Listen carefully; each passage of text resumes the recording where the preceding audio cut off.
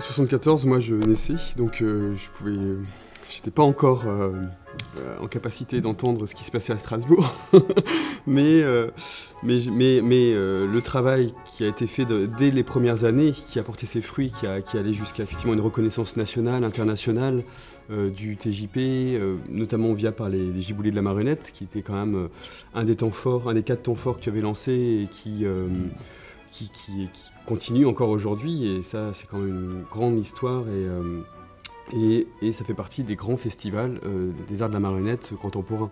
Quand je me suis formé, moi, bien plus tard, dans les années 90, euh, bah, Strasbourg était une.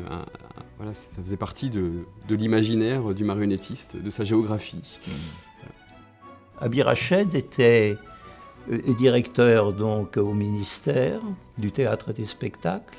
Il m'a proposé quelque chose qui allait vers la musique, euh, le chant, etc. etc. J'ai dit, mais ce n'est pas du tout de mon domaine, je, suis loin de cela.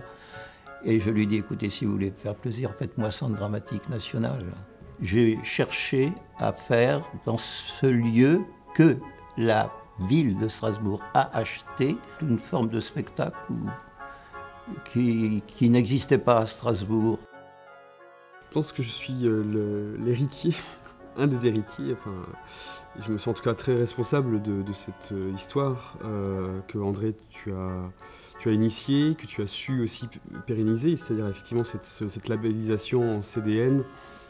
Elle est porteuse aussi d'une stabilité aussi qui, qui n'est pas, qui, jamais qui n'est jamais définitive, euh, qui peut toujours être remise en cause, mais en tout cas aujourd'hui, euh, nous avons des interlocuteurs qui sont l'État, la région, le département et la ville de Strasbourg, et ça c'est le fruit du travail que tu as, que tu as mené. Je me reconnais dans ce projet initial, et je trouve que c'est très bien.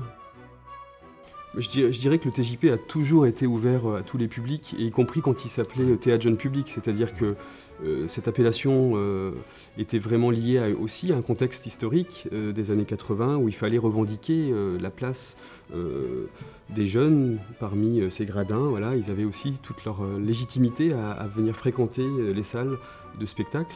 Et donc il fallait être un tout petit peu volontariste et, dire oui, voilà, le théâtre c'est aussi pour les jeunes. Et André, euh, dans ta programmation et Grégoire Caille euh, qui t'a suivi euh, et m'a précédé, vous avez et nous avons toujours été ouverts à tous. Et on n'a jamais, jamais le TJP a été spécialisé dans, dans, une tranche d'âge de public, je dirais. Voilà. Les arts de la marionnette ont ont grandi depuis, euh, se sont ouverts ou se sont transformés, ont pris d'autres formes et euh, depuis 1974 et je dirais même euh, encore avant et euh, j'entendais des Alain Rocoin encore écrivait en 72 un, des pères fondateurs de, la marionnette contemporaine qu'il fallait absolument s'ouvrir à d'autres à d'autres médiums comme, la vidéo, comme, comme la lumière, le son, comme le corps, la danse. voilà. On est aujourd'hui effectivement face à des formes.